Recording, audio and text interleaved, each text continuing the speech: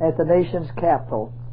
The destruction in one year by fire of the main buildings of the two leading Seventh day Adventist institutions in Battle Creek, Michigan, led to a study of the advantages that might accrue to the cause of God through a removal of the denominational headquarters and of the Review and Herald printing office to some other place.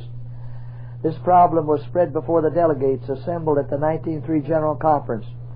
The brethren were urged to express freely their convictions as to the proper course to pursue. While they had the matter under advisement, Mrs. White, who was in attendance as one of the delegates, bore a decided testimony in favor of adopting a policy that would result in a widespread dissemination of the truths of the third angel's message.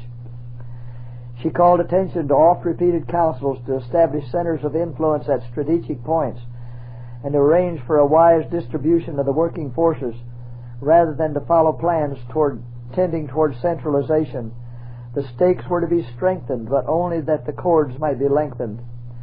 From established centers, the influence of present truth was to be extended into all the world. Mrs. White said in part, Will those who have collected in Battle Creek hear the voice speaking to them and understand that they are to scatter out into different places where they can spread abroad a knowledge of the truth and where they can gain an experience different from the experience that they have been gaining? In reply to the question that has been asked in regard to settling somewhere else, I answer yes, that the General Conference offices and the publishing work be moved from Battle Creek. I know not where the place will be, whether on the Atlantic coast or elsewhere, but this I will say, never lay a stone or a brick in Battle Creek to rebuild the review office there. God has a better place for it. From Battle Creek to the east. Before the close of the 1903 General Conference, the delegated, delegates voted that the General Conference offices be removed from Battle Creek, Michigan to some place favorable for its work in the Atlantic states. Soon after the close of the conference session, the General Conference Committee took the following action. Voted that we favor locating the headquarters of the General Conference in the vicinity of New York City. And in the 43rd annual meeting of the Review and Herald Publishing Association, held April 21, 1903, recommendations were adopted looking toward the transfer of the work of the association to some point in the eastern states. In the discussion of these recommendations, the object set forth during the general conversation, placing the institution where it could best share the burden of giving the third angel's message worldwide publicity was reiterated. As one of the members of the Committee on Resolutions declared in support of the recommendations offered, why do we talk about moving this institution? Is it not to place ourselves where we can do the work entrusted to us to better advantage? Is it not to place ourselves where we can hasten on to the whole wide world with our message and bring the glorious consummation of our work? In search of a site, as a preliminary step toward the carrying out of the recommendations of the General Conference and of the stockholders of the Review and Herald, representative men were chosen to serve as the locating committee. Before proceeding with their work, they wrote to Mrs. White requesting her to communicate to them any definite light she might have regarding the exact place where they should transfer the publishing interest. In her first response to their request, Ms. White wrote, I have no special light except that you what you have already received in reference to New York and the other large cities that have not been worked. Decided efforts should be made in Washington, D.C. It is a sad thing that the record stands as it does, showing so little accomplished there. It will be best to consider what can be done for this city and see what ways of working will be the best. In the past, decided testimony has been borne in regard to the need of making decided efforts to bring the truth before the people of Washington. May the Lord help us to move understandingly and prayerfully. I am sure that He is willing that we should know, and that right early, where we should locate our publishing house. I am satisfied that our only safe course is to be ready to move just when the cloud moves. Let us pray that He will direct us. He has signified by His promise that He would have us leave Battle Creek. New York needs to be worked, but whether our publishing house should be established there I cannot say. I should not regard the light I have received as definite enough to favor the movement. Let us all lift our hearts to God in prayer, having faith that He will guide us. What more can we do? Let him indicate the place where the publishing house should be established. We are to have no will of our own, but we are to seek the Lord and follow where he leads the way. The locating committee met in New York City May 18, 1903, formed their plans, and began at once an investigation of properties in suburban places and along the Sound and up the Hudson. Day after day they continued their search until finally they began to despair of finding anything suitable for their needs. Two or three of their number had already returned to Battle Creek when a second letter was received from Mrs. White in which she gave further counsel as follows. During the past night many things have been presented to me regarding our present dangers, and some things about our publishing work have been brought more most distinctly to my mind. Our, as our brethren search for a location for the Review and Herald Publishing House, they are earnestly to seek the Lord. They are to move with great caution, watchfulness, and prayer, and with a constant sense of their own weakness. We must not depend upon human judgment. We must seek for that wisdom that God gives. In regard to establishing the institution in New York, I must say be guarded. I am not in favor of its being near New York. I cannot give all my reasons, but I am sure that any place within 30 miles of that city would be too near. Study the surroundings of other places. I am sure that the advantages of Washington, D.C. should be closely investigated.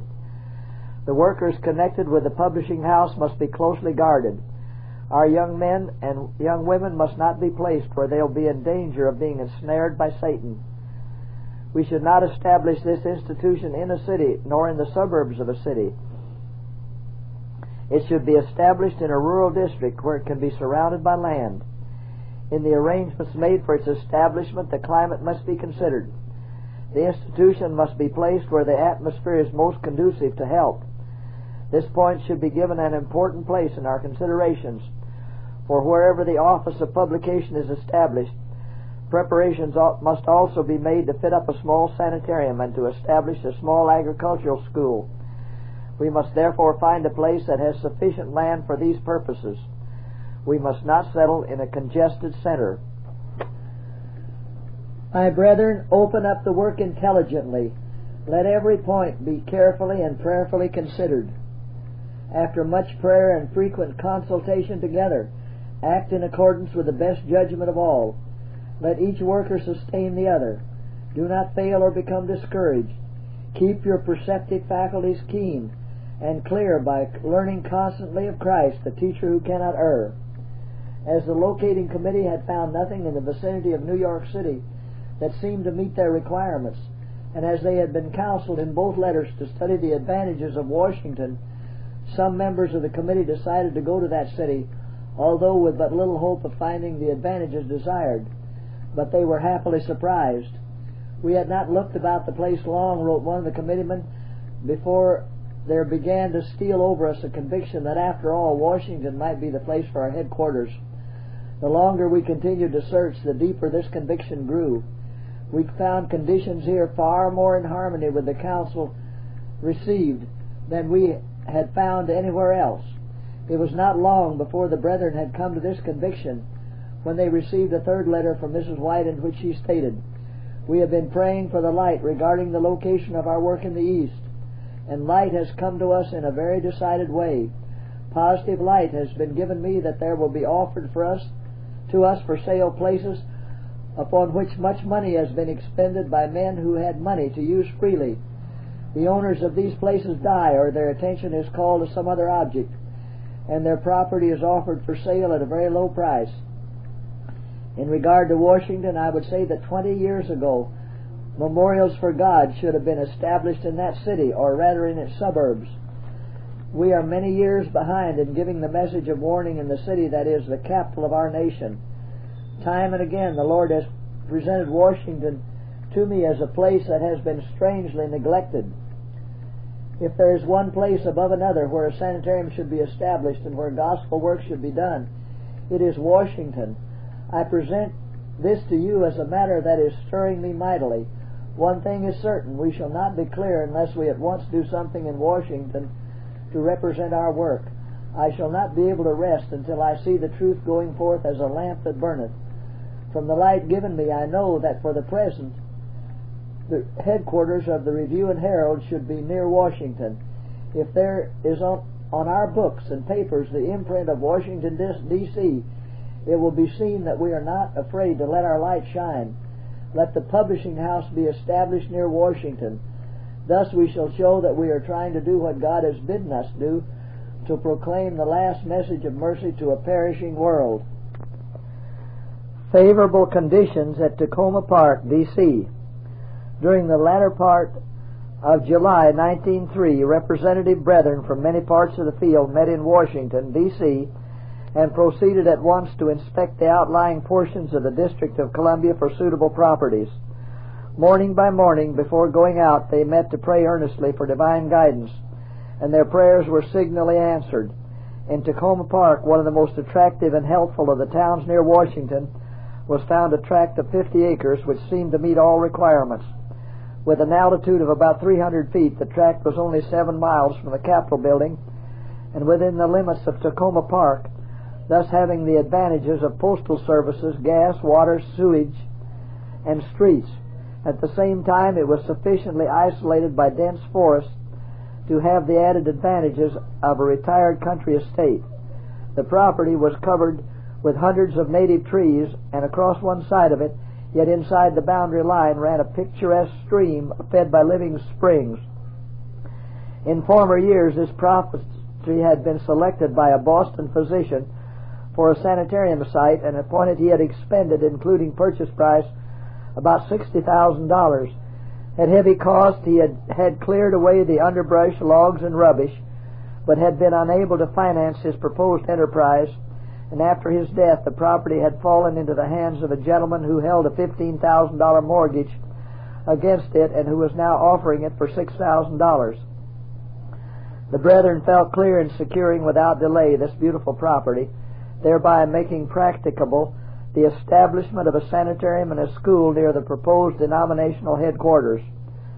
Though the 50 acre tract in Takoma Park was situated a mile or so beyond the district line, Yet the locating committee were able to purchase in the same village sufficient land lying within the district line to serve as a site for the factory building of the Review and Herald Publishing Association.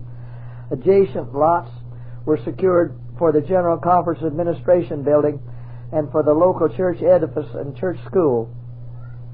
Thus the way was opening step by step for the early removal of the Review and Herald printing plant and the General Conference offices from Battle Creek, Michigan to the nation's capital. Only a few weeks elapsed before actual transfers were made, and the brethren established themselves in temporary rented quarters in the heart of the city, pending the erection of buildings at Takoma Park. An advanced step. The removal to Washington of work hitherto carried on in Battle Creek, wrote Mrs. White to those who had ventured to make the transfer is a step in the right direction. We are to continue to press into the regions beyond, where the people are in spiritual darkness. Those who had advanced by faith were richly rewarded. And as they labored on, they could see more and still more clearly the wisdom of the step they had taken. As the months go by, wrote the editor of the review in a last page note bearing date of February 25, 1904, we are able to see more clearly the meaning of the removal of the headquarters of our work to Washington and to appreciate the opportunity offered here to establish such memorials for the truth as will exert a wide influence in behalf of this message. From the instruction given through the Spirit of prophecy, it is plain that each line of institutional work, publishing, educational, and medical, is to be established here in a representative way, and that a continuous evangelical effort is to be carried forward so that at the capital of the nation and at the headquarters of our denominational work, there may be a proper representation of this message as a missionary movement.